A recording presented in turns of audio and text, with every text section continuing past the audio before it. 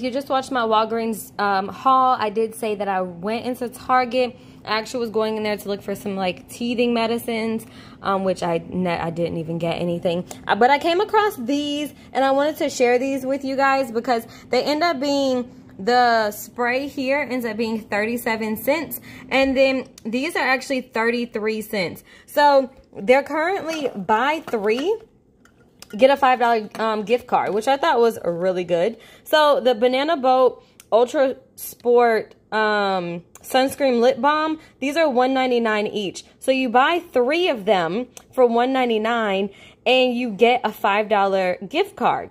So that makes these after your gift card. This And if you're rolling a gift card, um, it's even cheaper. I did this in one transaction, so I definitely rolled um, the gift card balances that I had um, but these will end up being 33 cents after your gift card.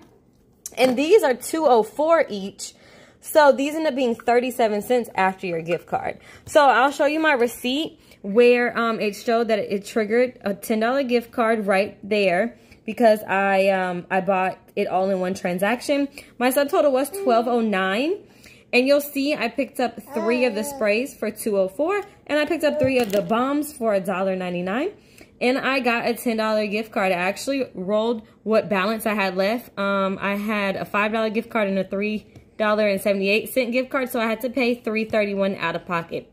Sorry if I'm moving a lot. Taylor's on my hip, so she's making me move a lot. But anyways, guys, just something quick and simple. No coupons needed.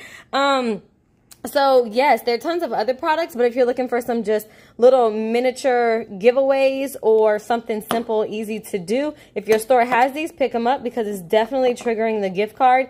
Um, and it's a super easy, cheap deal. So again, guys, at Target, 37 cents for the sprays, 33 cents for the lip balms. And other than that, guys, have a wonderful Monday.